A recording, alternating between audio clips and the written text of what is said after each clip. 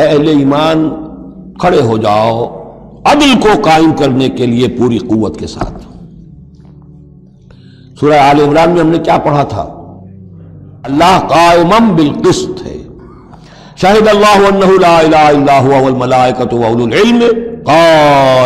बिलकिस्त जब अल्लाह अदल कायम करना चाहता है तो अल्लाह के इस दुनिया में कारिंदे कौन है? पहले ईमान सिपाही हैं। अल्लाह के सिपाही। लिहाजा अदल कायम करेगा अल्लाह दुनिया में अहले ईमान के ज़रिए। अल्लाह दीन का गलबा चाहता है लेकिन अहले ईमान को जान, जाने देनी होगी कोशिशें करनी होगी इशार करना होगा कुर्बानियाँ देनी होगी तब दीन गालिब होगा। लेकिन यह अंदाज़ा कीजिए कि किस कदर अहमियत है अदल किस्त ये जो सोशल जस्टिस का मामला है जितना ज़ोर इस्लाम ने दिया है बदकिस्मती से आज का हमारा मजहबी तबका उतना ही उससे बेबहरा। सिरे से उन्हें पता ही नहीं कि सोशल जस्टिस की भी कोई अहमियत इस्लाम में है।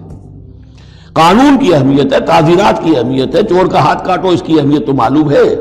लेकिन यह कि उस निज़ाम को दुरुस्त करो, जुल्म खत्म करो एक्सप्लाइटेशन खत्म करो, ये सरमायादार जिस तरीके से खून चूस रहे हैं और चूस चूस कर जैसे मच्छर फूल जाता है, हमारा खून पीकर इस तरह वो फूले हुए हैं, आखिर ये पूरा निज़ाम दुरुस्त करो ना। ये मशीन जो है, ये पूरा निज़ाम जो है, जिसमें के डिस्ट्रीब्यूशन ऑफ़ वेल्थ जो है, उसका निज़ाम गलत है। एक ऐसी चक्की है कि आटा पीसकर एक तरफ़ डालती है, दूसरी तरफ़ डालती नहीं एक तरफ़ भूख है, कादल फक्र यकून कुफरा। ये फक्र जो है, ये तो कुफर तक इंसान को पहुँचा देता है। पहले वो निज़ाम कायम करो जिसमें अदल हो, जिसमें जमानत दी गई हो कि हर शख्स की, हर शहरी की बुनियादी जरूरियात की किफालत है, जो निज़ाम खिलाफत के अंदर है। फिर कोई चोरी करे तो हाथ काटो, ज़रूर काटो। लेकिन यह है कि कानून तो हमें मालूम है। बालात मौजूदा आप वो कानून नाफिज कर दीजिए, फ़ायदा होगा हराम खोरों को, ब्लैक मार्केटियों को, जिन्होंने कि हराम खोरी से दौलत जमी की हुई है। चोर का हाथ कटेगा तो वो फिर पाँव फैला के सोएँगे, उन्हें डर खाए करा फ़ायदा उन्हें होगा। असल शय ये मैं ये नहीं कह रहा कि शरीयत नाफिज ना की जाए माज अल्लाह लेकिन यह कि शरीयत शरीयत है, दीन दीन है। लॉ जो है, वो सब सर्व करता है सिस्टम को। कानून जो है, वो किसी निज़ाम को कायम करता है, मज़बूत करता है, सब सर्व करता है, उसकी खिदमत करता है। जो सिस्टम है, निज़ाम, दीन का, उसको कायम करो। और फिर उसको कायम रखने के लिए, उसे कंसोलिडेट करने के लिए, उसे चलाने के लिए, उसे मुस्तकिल करने के लिए कानून नाफिज करो। यह है जो कि उस उसूल है। या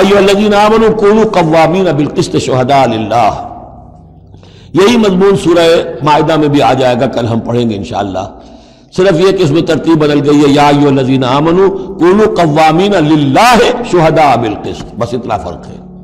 लेकिन उसमें इशारा हो गया कि अल्लाह और किस्त गोया के मुतरादी अल्फाज हैं। गवाह बन जाओ अल्लाह के, या गवाह बन जाओ किस्त के। खड़े हो जाओ अल्लाह के लिए, या खड़े हो जाओ इंसाफ के लिए। मालूम हुआ अल्लाह और किस्त ये मुतरादिफ है। या नजीन आमन कून कवामीन बिलकिस्त शहदा वलो अला खा ये इंसाफ की बात तुम्हारे अपने खिलाफ जा रही हो। अविल वालदेन, या तुम्हारे वालदेन के खिलाफ जा रही हो। वल अकरबीन का तुम्हारे कराबतदारों के खिलाफ जा रही हो। तुम्हारा ताल्लुक अदल के साथ इंसाफ के साथ किस्त के साथ है रिश्तेदारी के साथ नहीं इन यकुल गनीन और फ़कीरन एक चोर दरवाज़ा ये होता है, है तो खैर हक तो इसका नहीं बनता है लेकिन ये गरीब है चलो मैं इसके हक में फैसला कर दूँ। इन यकुन गनीन और फ़कीरन फल्लाह औला बेहमा। चाहे वो शख्स गनी है या फ़कीर है दोनों का पुष्पना अल्लाह है दोनों का कफील अल्लाह है। तुम नहीं हो कफील। तुम्हें फैसला करना है जो स, जो सही है जो अदल पर है जो इंसाफ पर है वो फैसला करना है। किसी की जानबदारी नहीं। वो जानबदारी ना बाप की करनी है ना माँ की करनी है ना भाई की करनी है ना खुद अपनी करनी है। कौन कवामी नबिलकिस्त शहदा अल्लाह के गवाह बनकर खड़े हो जाओ अल्लाह के हक में। देखिए शहादत आला लोगों पर गवाही। और शहादत लिल्ला अल्लाह के लिए गवाही। यो वाज विटनेसेस अल्लाह के गवाह। ये तो हमें होना चाहिए, अल्लाह के गवाह बनकर खड़े हो जाए। हर हक बात जो अल्लाह की तरफ़ से उसके अलम बरदार हो, और उस हक को कायम करने के लिए तलमंदन लगाने के लिए अपने अपनी कमर कस लें। वला वला अबिल वालदेन वलकरबीन इन यकुल गनीजन और फ़कीरन फ़ल्लाह औला उनका खैर खा अल्लाह है। फला तत्बेउल हवा तो देखो, ख्वाहिशात की पैरवी न करो, अंत आदिलू। बबादा तुम आदिल से हट जाओ, कि तुम अदल ना करो। ख्वाहिशात की पैरवी करके अदल से बरगश्ता हो जाओ।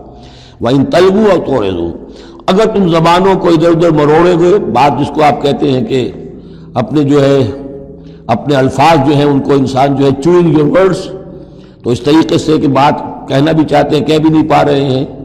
हक बात जो है, जबान से निकालना नहीं चाहते, गलत बात निकल नहीं रही है। इन तलवू और तो रेजू या तुम एराज करोगे, बच जाओगे, मुँह मोड़ लोगे।